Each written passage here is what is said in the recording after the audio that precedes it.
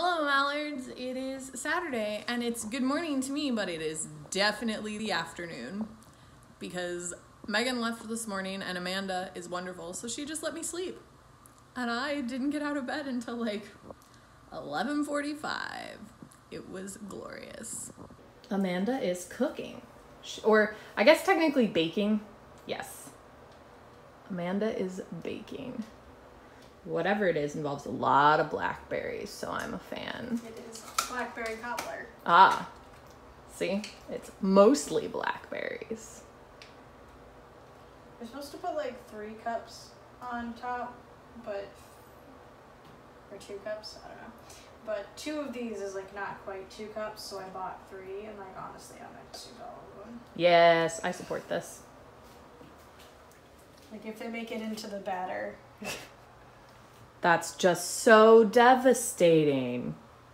it doesn't look good, but I'm trusting the recipe. I'm sure it will taste delicious. And I would argue that it does look good. I mean, like, it's maybe not aesthetically pleasing, but like, there's a butter content, there's, There's an so obvious sugar content. Like, that looks delicious. Amanda finished the cobbler, and her mom's gonna come over and we're gonna eat it Yeah, with ice cream.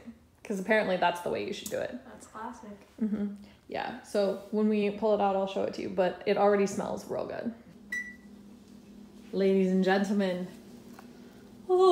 Oh, oh doesn't it look so good? Yes, and there's some Publix vanilla flavored ice cream, which, like, we'll That's talk fine. about that in a minute. I just wonder why it says vanilla flavored ice cream instead of like vanilla ice cream. I don't know. But this question. looks so good. Ah, I'm sure it's gonna taste delicious. Amanda, you made that. I did. Yeah. So, I'll eat gooey things. I like straight butter, so I.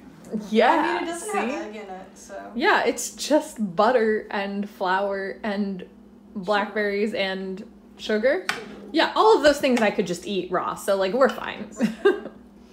I didn't necessarily think it was possible, but that blackberry cobbler maybe tasted even better than it looked. It was so good. Like so good that Mel and Raymond are maybe gonna come over to have some. We are playing Spaceteam, which we've just introduced Mel and Raymond to. Correct. And Amanda hasn't played in a while. I love this game. Spaceteam is it's just a bunch of yelling and screaming, and I'm real into it. Mhm. But it's fun. It's great. It is. It's really fun. so uh, we're gonna try again. I should really record us just playing. I'm sure it's wild.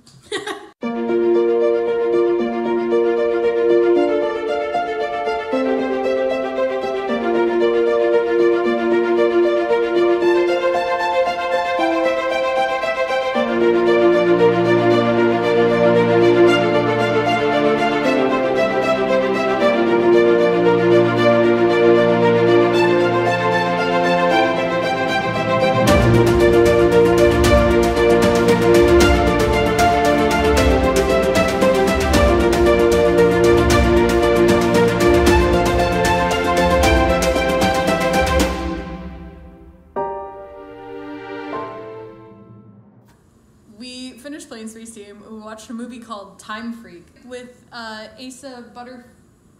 mm, I don't know his last name. Butterfield? Is it Asa Butterfield? I don't know. The guy in sex education. Yeah, the guy from Sex Education and uh, Sophie Turner. Sophie Turner. And it was time travel, which I like, and it was really cute.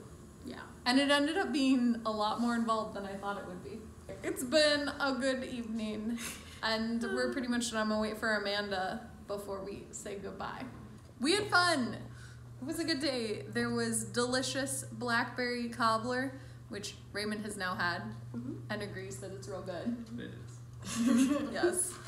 And there was a lot of Spaceteam, which is what most of this video is. And there was a fun, cute movie.